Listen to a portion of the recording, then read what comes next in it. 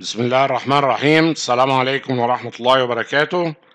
استكمالا لشرح موضوع ال traverse هنبتدي دلوقتي في المضلع اللي إحنا جبنا انحرافات وحسبنا انحرافاته. وعندي الأطوال هبتدي أحسب لكل ضلع من دول المركبات بتاعته الأفقية والرأسية. المركبة الأفقية بنسميها ال departure اللي دي تساوي L مضروبة في sine الانحراف.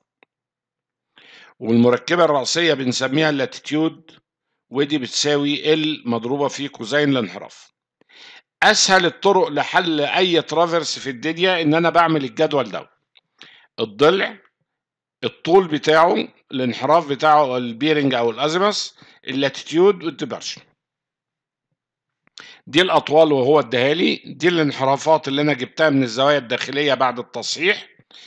ده ال latitude اللي هو L مضروبة في cosine الانحراف ودي L مضروبة في sine الانحراف آدي الانحراف وادي الطول فما فيش أي مشكلة إن أنا أحسب المركبات ديت لجميع الأضلاع. آجي بعد كده أروح جايب مجموع الأطوال محيط. ال traverse وهنا sigma ال latitude وهنا sigma ال departure. sigma ال latitude دي كان المفروض إنها تساوي صفر و sigma ال departure دي رياضيا كان المفروض تساوي صفر.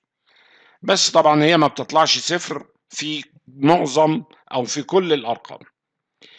من السيجما اللاتيتيود وسيجما الديبارشر اللي هي اللاتيتيود ديبارشر المركبات ديت بقدر أجيب ال linear error أو مقدار الخطأ الطولي اللي هو بيساوي الجذر التربيعي ل sigma ال latitude تربيع زائد sigma ال departure تربيع ده يديني مقدار الخطأ الطولي اللي هو ال أنا شغلتي بقى إزاي هحول السبعة وتلاتين من مية دي إلى zero وإزاي هحول التلاتة من مية دي إلى zero؟ عشان أنفذ الكلام ده عندي ثلاث طرق مختلفة للموضوع ده. نمرة واحد ال transit method أو بالعربي بيسموها التصحيح بنسبة المركبات. نمرة اتنين ال compass rule أو ال compass method وفي بعض الكتب بتسميها Bowditch method. بالعربي بيسموها التصحيح بنسبة الأطوال وال least square ودي أدقهم طبعا اللي هي بصحح باستخدام نظرية الأخطاء.